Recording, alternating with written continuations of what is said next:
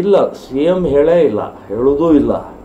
ಅವರಲ್ಲಿ ಈಗ B J ಪಿಯವರಲ್ಲಿ ಬರೀ ಮಾತಿನಲ್ಲಿ ಹೇಳ್ತಾ ಇದ್ದಾರೆ ಅಷ್ಟೇ ವಿನಃ ಗಟ್ಟಿಯಾದಂಥ ಪ್ರಕ್ರಿಯೆ ಇನ್ನೂವರೆಗೆ ಮಾಡ್ತಾ ಇಲ್ಲ. D G Halli, K G Halli ಅಷ್ಟು ದೊಡ್ಡ ಘಟನೆ ಆಯಿತು. ಒಬ್ಬ ಎಂ ಎಲ್ ಎ ಮನೆಗೆ ಬೆಂಕಿ ಹಾಸ್ತಾರೆ ಅದು ದಲಿತ ಮನೆ, ದಲಿತ ಎಂ ಎಲ್ ಎ ಮನೆಗೆ ಹಾಸ್ತಾರೆ ಪೊಲೀಸ್ ಸ್ಟೇಷನ್ಗೆ ಬೆಂಕಿ ಹಾಸ್ತಾರೆ ಸೊ, ಅಂಥ ಇದರಲ್ಲೂ ಕೂಡ ಮುನ್ನೂರು ಜನರು ಬಂಧನ ಮಾಡಿದರು. ಇವತ್ತು ಅವರು ಬೇಲ್ ತೊಗೊಂಡು ವಾಪಸ್ ಆನಂದವಾಗಿ ಓಡಾಡ್ತಾ ಇದ್ದಾರೆ.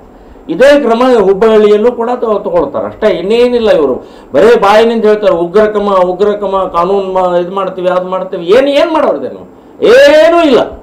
ಏನೇನೂ ಮಾಡೋದಿಲ್ಲ ಇವರು ಅಂತ ನಾನು ಹೇಳ್ತೀನಿ. ಕೋಕಾ ಕಾಯ್ದೆ ಹಾಕಿ ಅಂತ ನಾನು ಹೇಳ್ತಾ ಇದ್ದೀನಿ. ನೀವು ಕೋಕಾ ಕಾಯ್ದೆ ಸಾಮೂಹಿಕ ಇದೆ ಇದು. ಸಾಮೂಹಿಕ ಸಂಘಟಿತ ಗಲಭೆ ಇದೆ ಇದು. ಪೂರ್ವಯೋಜಿತ ಗಲಭೆ ಇದು.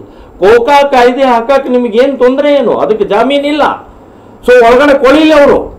ಒಳಗಡೆ ಸಾಯಿಲೇ ಅವರು. ಈ ರೀತಿಯ ಅನಾಹುತ ಮಾಡಿದಂಥವ್ರು ಇನ್ನು ಮುಂದೆ ಎಚ್ಚರಿಕೆ ಕೊಟ್ಟಂಗಾಗತ್ತೆ.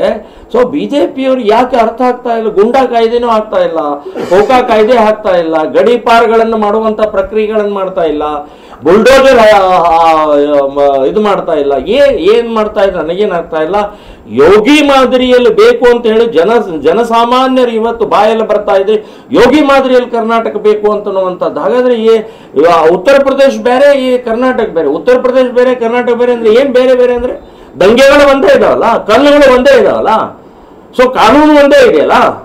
ಸೊ ಆ ಕಾನೂನಿನ ಹಿನ್ನೆಲೆಯಲ್ಲಿ ನೀವು ಮಾಡಿ. ಸೊ ನಿಮ್ಮಲ್ಲಿ ಆ ಗಡ್ಸ್ ಇಲ್ಲ. ಇವತ್ತು ಹಿಂದೂಗಳ ಪರವಾಗಿದ್ದೀವಿ ಅಂತ ಹೇಳುವಂಥದ್ದು ಮಾತು ನಿಮ್ಮೊಂದು ಬರ್ತಾನೆ ಇಲ್ಲ.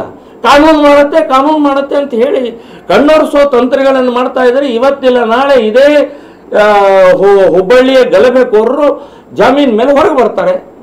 ಮ, ಏನು ಏನು ಸಾಧನೆ ಮಾಡಿದಂಗಾಯಿತು? ಏನು ಇಲ್ಲ ಅಂತ ನಾನು ಹೇಳ್ತೀನಿ. ಸೊ ಧೈರ್ಯವಾಗಿ ಇವತ್ತು ಕೋಕಾ ಕಾಯ್ದೆ ಸಾಮೂಹಿಕ, ಸಂಘಟಿತ, ಪೂರ್ವಯೋಜಿತ ಇದ್ದಿದ್ದರಿಂದ